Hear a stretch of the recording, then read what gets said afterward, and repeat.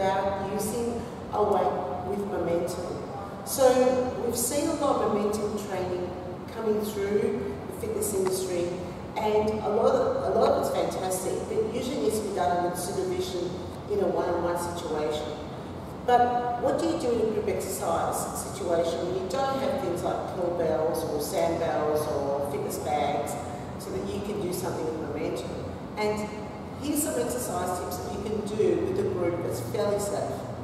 So the first exercise that we're going to go through is the swing. Now, if you start, firstly the, the load's really important.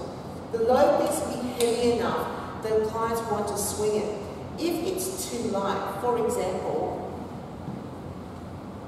for me, if I pick up a three kilo weight, when I swing, I'm going to do things that Don't want my clients to do. Like they'll swing their arms up and down. And the range of motion can actually be uncontrolled. So this is where it's an interesting paradigm, where the heavier you are, the more control you have, whereas the lighter you are, the less control you have. So, let's go back to the heavy weight. So this one's five kilos, which is probably the heaviest dumbbell you might find in a group fitness studio. Secondly, when you're doing anything momentum, when you create the swing, you need to make sure that you're transferring the load. So it's not just the arm that's doing the work, the other arm needs to rotate as well. So that the whole torso is moving and you'll see that my knees are actually bending as well. And there is a little bit of twisting action that happens in the knees, but that's, that's normal and it's functional. You can't keep your knees just perfectly still while you perform this exercise. So there's going to be some movement through the knees. Here, there, here, there. Why do momentum training? It's one of the most common daily activities that we do to move load. You want to move bag, you want to move shopping, you want to move, you know, uh, children. Usually there's a little bit of momentum that's required to be able to do it. This is training muscles to do it well.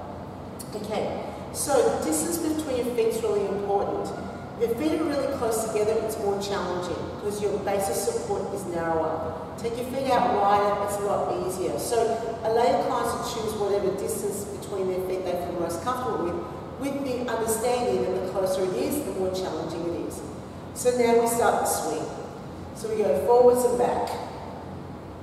The emphasis is more on what you're doing behind the body and that the free arm, the one without the load, needs to make sure that far forward as it possibly can.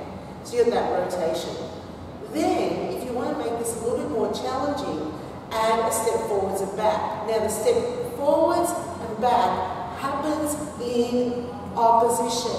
So, when that leg is forward, this arm is back, opposite arm to leg. It's the same as when you walk. You walk opposite arm to leg.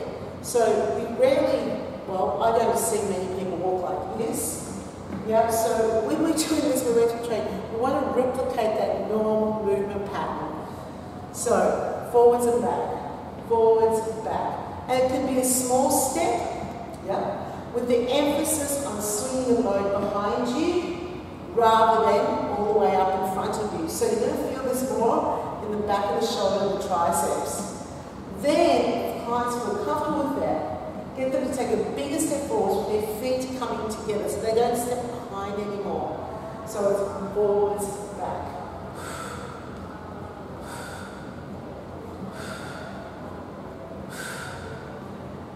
To transition to the opposite side, do the classic hip hinge that you normally do with the kettlebell, but you're obviously using with a much lighter weight.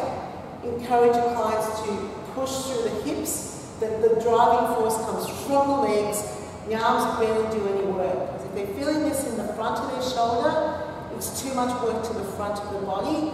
They're lifting the load, not with momentum, but with their shoulder, which could very well happen with a lighter weight. That's why it's good to have a heavy weight.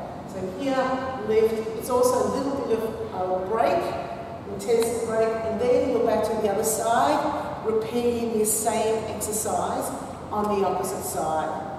That's this week's muscle conditioning tip.